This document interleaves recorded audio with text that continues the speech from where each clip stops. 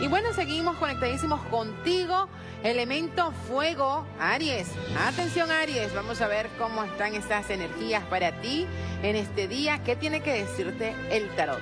Aries, para ti tienes la carta de el mago, la justicia. Bueno, dice que es importante una buena dosis de optimismo, siempre es importante y además necesaria. Dice Aries, que hoy tú mismo vas a decir, no, no, no, yo me voy a sacudir esta pereza, esta apatía, este desgano que está allí presente en mi día, lo transmuto, lo quito de mi cuerpo, de mi alma, de mi ser y voy a salir al encuentro de nuevas oportunidades. Bravo, Aries, me encanta esa actitud en este día porque tienes la carta del mundo que dice vas a tener nuevas posibilidades, se abre un abanico de posibilidades para ti. Tienes el as de oro y el as de basto que atrae también nuevos chances, nuevos retos, nuevas oportunidades hacia lo que es tu mundo laboral.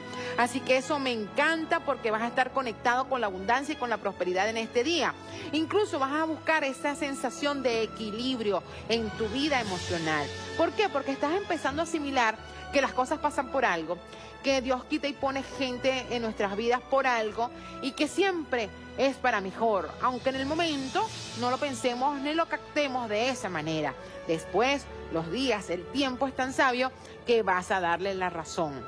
Tienes por acá la carta del 5 de espada y tienes además la carta del rey de copas. Dice, se acerca a ti una persona que va a estar pasando por alguna situación muy parecida a la tuya a nivel sentimental y tú vas a dar el consejo, vas a dar como el, eh, sí, como el salvoconducto para salir de esa situación y vas a arrastrar a esa persona a que viva contigo esa nueva actitud que tú has decidido asumir en este día. Cosa que me parece perfecto, Aries. Me gusta verte con nuevos ánimos, me gusta verte tomando la sartén por el mango, tomando la batuta de tu vida, tomando el timón de tu barco. Eso es lo que debe hacer. Buscar ese equilibrio, esa armonía contigo mismo, porque es allí donde está la salida.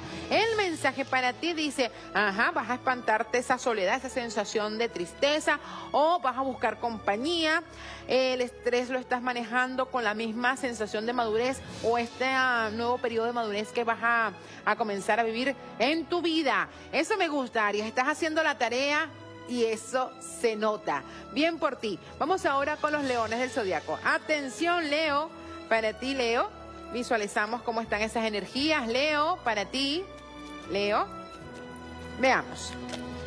Leo conjuramos. Leo sale por acá con la carta del mago también y dice que si no pones los puntos sobre las IES, es como que algo va en contra tuya. Eh, te saca de tus casillas el hecho de estar como aclarando cosas. No te gusta estar aclarando cosas ni dando eh, muchas explicaciones, porque eso te perturba. Tienes más bien la necesidad de decir las cosas de manera directa, precisa y concisa. Y es así como, como te sientes bien contigo mismo. Tienes una combinación espectacular que son los cuatro haces. Y los cuatro haces es como cubrir los francos a nivel emocional, a nivel laboral, a nivel económico y de vencimiento de las dificultades. Aunque hay algo que no te termina de cuadrar hacia lo que es tu mundo sentimental, porque quisieras como mayor entrega, como, como sentirte realmente amado, amada, sentirte que realmente las cosas empiezan a fluir de manera distinta en tu relación de pareja. Pero dice que poco a poco, que no comas ansias, que de repente esa persona está allí sintiendo el amor a plenitud por ti, pero de repente le gusta irse con cautela. No le gusta como agotar todos los cartuchos al mismo tiempo. Esa persona va ahí con calma, lento pero seguro que es lo importante. Leo, ¿hay algo que quisieras hacer con respecto a un inmueble? Está allí la posibilidad. Yo creo que se va a concretar en poco tiempo. El 10 de copas y la carta del 3 de oro dice que hay una intranquilidad hacia lo que es tu terreno económico, pero que la vas a lograr eh, como solventar en corto plazo. El mensaje para ti, Leo, dice, disfruta momento a momento. Es importante eh, disfrutarnos el transitar, porque a veces estamos tan apurados por llegar a la meta y no nos disfrutamos el recorrido, ¿verdad? El camino. Es importante disfrutarse también ese camino. Con sus cosas positivas, con sus cosas no tan buenas, porque las no tan buenas te hacen madurar y aprender y las buenas pues te hacen feliz. Así que es importante disfrutarse también ese transitar, ese camino. Ya lo sabes, Leo. Vamos ahora con los sagitarianos del zodiaco. A ver, Sagitario, ¿qué hay para ti? ¿Cómo se mueve esa energía?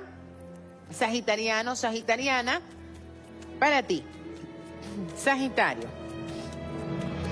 Sagitario, Tienes por acá Basto, el sumo sacerdote, el bien que viene del cielo, la carta de la fuerza es una carta de empuje, de sacar la garra, de ponerle lucha, de ponerle entusiasmo, de ponerle, tú sabes, sazón a la cosa. Dice que es importante, sagitariano, sagitariana, eh, que mantengas esos ánimos arriba, porque eso es lo que te va a proyectar hacia el éxito ese, ese espíritu alegre, ese todo va a estar bien, ese yo lo resuelvo, ese, esa disposición que tienes ante la vida es lo que realmente te va a llevar al éxito.